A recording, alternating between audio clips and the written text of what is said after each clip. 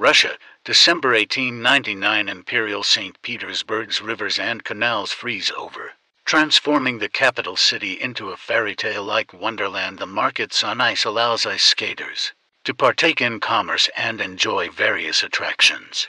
Kind hearted 18 year old Matvey Polyakov is an ice skating courier working for a local patisserie who is renowned for his speed. He is the fastest thanks to his skill with the heirloom silver skates inherited from his father Peter, an optimistic and pious lamplighter. The Tsarist minister Nikolai Vyazemsky's daughter Alisa Vyazemskaya chafes against the expectations, customs, and superstition of the upper class. She seeks to study the sciences and chemistry specifically, but is forced to hide her interests from her father, who, like many Russian aristocrats of that time, believes that a woman would be better off without higher education. He believes it only produces freethinkers and rebels. Her socialite stepmother Severina Genrikovna, who believes in occultism such as astrology, dislikes her independent nature and suggests to Nikolai that she should be married off. Knyaz Arkady Trubetskoy, the stern and ambitious captain of the guard, seeks her hand in marriage for the wealth inherited from her late mother. A few days before the dawn of the 20th century, Matvey loses his job due to tardiness, as the street he took was closed for the passage of the aristocratic Vyazemskys. Going home, his father displays a severe and prolonged cough. At Matvey's urging, they eventually seek a doctor's opinion. Where? He discovers that his father has developed late stage consumption. Dr. Grigory Anatolyevich tells him that, to his knowledge, the only chance for a cure is at a German clinic in Baden Baden, which the Polyakovs could not afford. With nothing to lose, Matvey seeks out a gang of pickpockets named the Ice Gang, whom he has encountered on the canals the day he lost his job. Their leader Alex is impressed by Matvey's speed and agility. He is a proponent of Marx's ideas about expropriation, which the other members Muka, Cengiz, and Graf support. Matvey trains with the Ice Gang, learning the sleight of hand inherent to pickpocketing in order to pay for his father's treatment. The gang steals into the Vyazemsky mansion, where they challenge Matvey to leave a do graffiti on a window. Matvey climbs onto Alisa's balcony where she confronts him. Matvey spooks her, leaving him burnt by her lamp. In his first heist, Matvey manages to steal two invitations to a ball on ice in the courtyard of the St. Michael's Castle organized by the Imperial Ice Skating Club. After Muka tries to downplay Matvey's initial success, and Matvey receives a makeover, Matvey and Alex enter the ball, Alex teaching him how to blend in with the nobles so as to reap the golden opportunity. Alisa is also there. She is formally acquainted to Count Arkady, who had invited her there. Alex and Matvey steals from the assembled nobility, who are entranced by the Count's display of skating prowess. Alisa and Matvey catch each other and she proposes a deal. Alisa won't reveal Matvey's crimes, but he must assist her in entering the Bestuzhev courses as a student, according to the law of the time. This requires the consent of a male companion or her father. As the thieves escape, Alex reminds Matvey of his and Alisa's vast difference in class, telling him to remember where Matvey came from.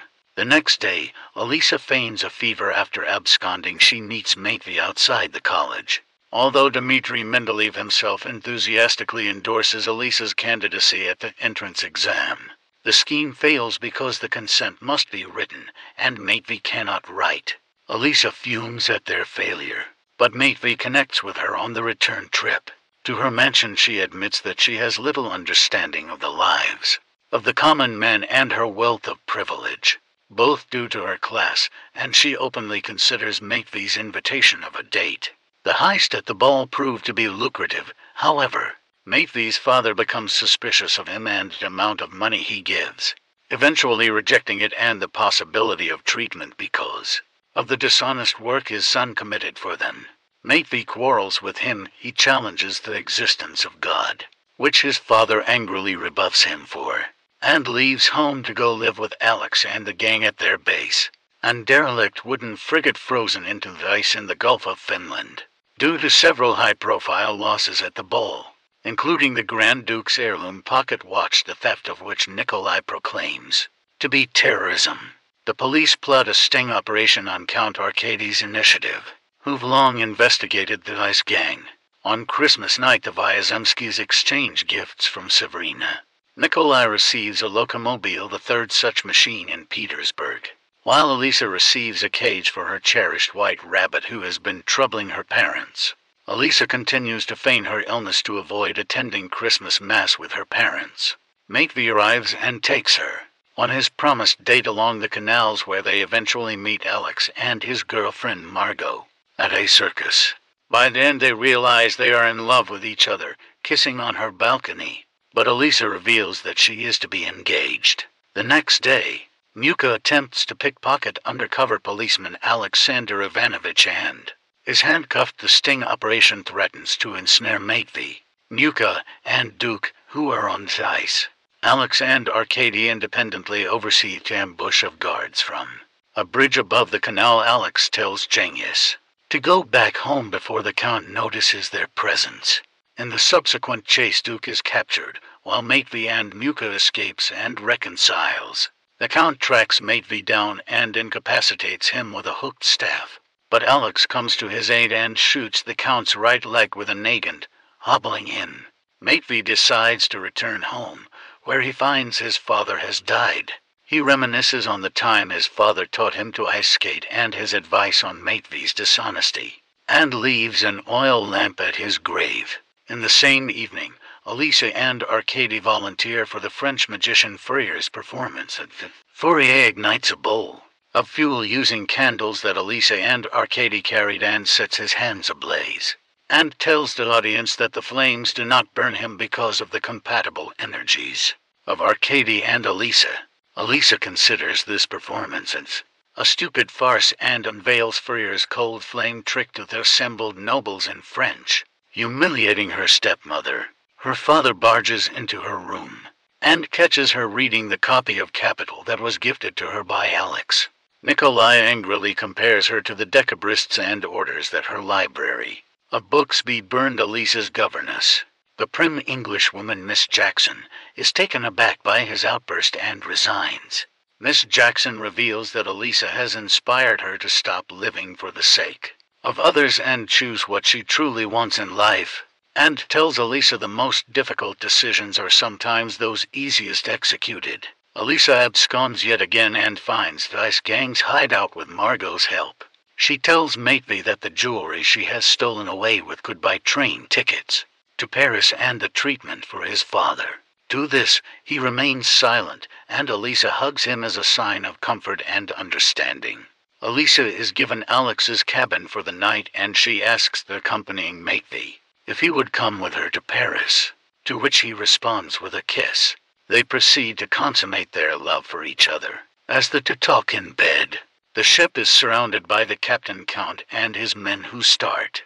A fire that engulfs the ship, the ship's location having been tortured out of the captured Duke. Matvey and Alisa leave the rest of the Ice Gang behind to Alex's displeasure, as he intends to use her as a hostage. Cengiz, Margot, and Muka are captured as they attempt to escape the ship. Alex incapacitates Matvey and executes his plan, demanding assurance of all his comrades' escape, including the traitor Duke, for Alisa's safety, which Arkady gives his word for.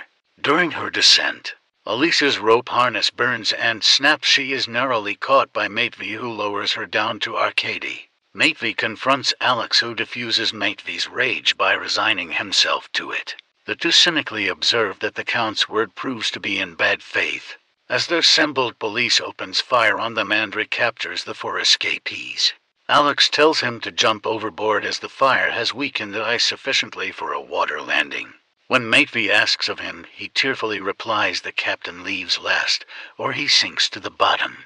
When Matvey insists on waiting, Alex replies, See you on the other side. As they both run off the bowsprit, Alex shoots into the air to draw attention to him and allows Officer Ivanovich to shoot him. He sinks into the frigid water and drowns. Matvey manages to emerge from the sea and falls into a coma before fishermen take him to Anatolievich's hospital, who immediately attempts to treat him for hypothermia. The memory of his father restores his will to live. Dr. Grigory explains that Mr.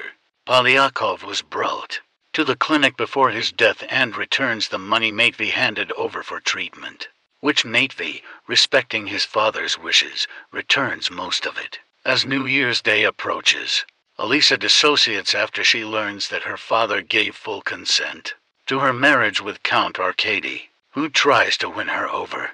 The Vyazemskys attend a costume ball at the Great Gatchina Palace to announce Alisa's betrothal. Matvey infiltrates the ball and reveals himself and to train tickets to Alisa, which she joyfully accepts.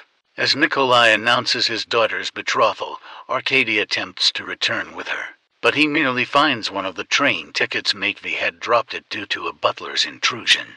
Matvey and Alisa skate away towards Vitebsky railway station with Arkady pursuing on horseback. At the platform, the couple discover the missing ticket. Matvey spots the incoming Arkady with the second ticket and asks for Alisa to be kept on the train no matter what before intercepting Arkady on the platform. Matvey prevails in the ensuing struggle and runs back with the ticket jumping onto the caboose to awaiting Alisa. But Arkady borrows a nagant from a station officer and shoots Matvey's heart. The silver skates catch the bullet and saves Matvey, and the couple make it to Paris. Four years later, Nikolai Vyazemsky visits Dmitry Mendeleev to tell him that he knows of his secret correspondence with his daughter. The jubilant Mendeleev tells him that Alisa has made great strides in the study of chemistry and is set to receive an academic degree within a year, which will allow her to work in all prestigious universities in the West. Vyazemsky asks the directorate of the university, where the Bestuzhev courses are held, to amend the charter so that women will be able to teach there. He realizes this is the only way to have his daughter close again. Subsequently, Alisa lectures a class of women on chemistry with Mendeleev and Nikolai. In attendance, she elaborates the reaction that allows fire to be cold, the touch. The film ends with Alisa, Matvey, and their young son Petya, named after his late paternal grandfather, learning how to ice skate.